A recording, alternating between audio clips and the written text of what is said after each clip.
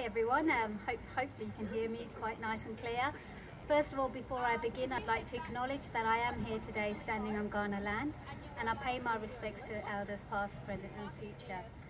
So a little bit about what we do here today. Um, well, I'm the course coordinator, as you heard from Uncle Rod, for the Indigenous Knowledges and Societies courses. We run four courses each semester, uh, well, each year, two in the first semester and two in the final semester.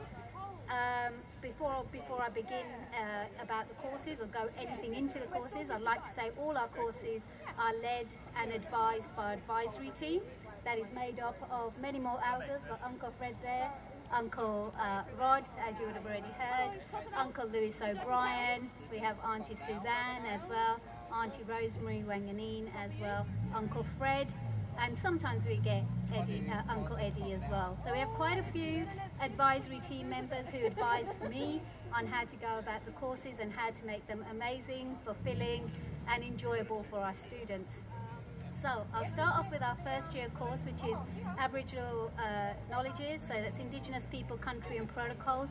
This is really a basic course. Um, it's a hands-on approach course. We've been moulding it and changing it over the time.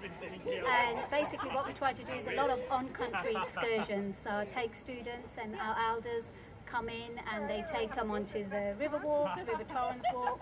They'll go out to um, the botanical gardens with Trent. They'll have a fire dance this year as well with Uncle Fred. They get a smoking introduction as well by Uncle Fred and Uncle Lewis O'Brien as well as Auntie Suzanne and Auntie Rosemary come on and give a whole load of lectures as well. So you get on, so you get that first-hand experience, and that's what our course is about.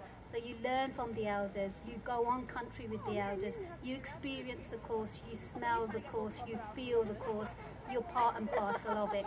So that's the first year course really, understanding culture, understanding culture from an Aboriginal Torres Strait Islander perspective rather than you know, a Western perspective, so to say.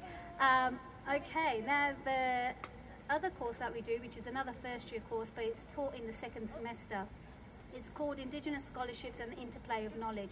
Now this was a fantastic course last year. What we did and what we were able to do was, as you all know, it was COVID, so we made the most of what we had, which was Zoom, and um, we were able to invite a whole load of Indigenous scholars from around the world, which was from Africa, from New Zealand, from Canada, Native America. Um, we tried Sweden, but we weren't able to get that. But what we had was this um, conversation, almost a collaboration of ideas, of Indigenous ideas, about Indigenous worldviews from around the world and how their knowledge intersects, how they are so similar and they have their own unique ways of getting that, sometimes a similar message through through their different lens. So that was a fantastic course as well, and a lot of students, maybe some that are here today, would have participated in that. And we tend to do something very similar this year as well. Then we have our Aboriginal uh, third year course, which is a capstone course, but that's more of a hands-on course where students get to pick a organisation and they'll go out to the organisation and they'll get work ready experience. So they're really participating in some research that they'll put forward to some kind of work that they'll be doing in the future in the Indigenous area. Um, and then we get a uh, ABORIG 3001, which is an Indigenous Societies Rights and Responsibilities course, and that's a third year course. Now that's a little bit more political, a little bit more critical, but what we're doing there is looking at what colonisation did. We're exploring some of those colonial legacies that continue on today albeit in a different context, but we're actually facing some of those realities.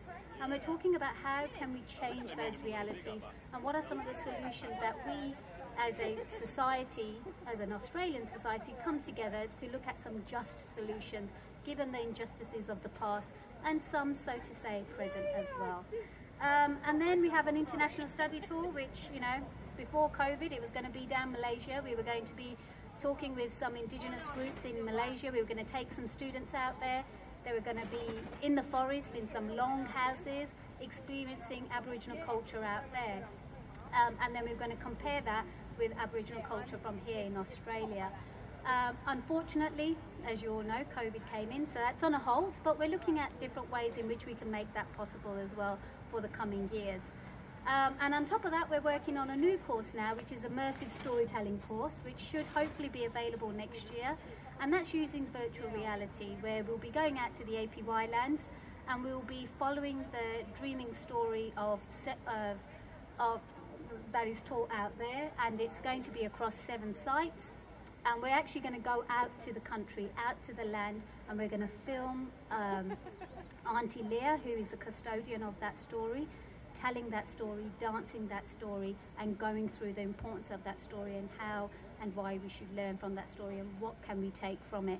So that's going to be a new immersive storytelling course which is using virtual reality so that students that cannot go onto sacred land can still watch and feel part of that story as well, but understand the importance of stories within, or dreaming stories within Aboriginal culture and how Aboriginal knowledge is passed down.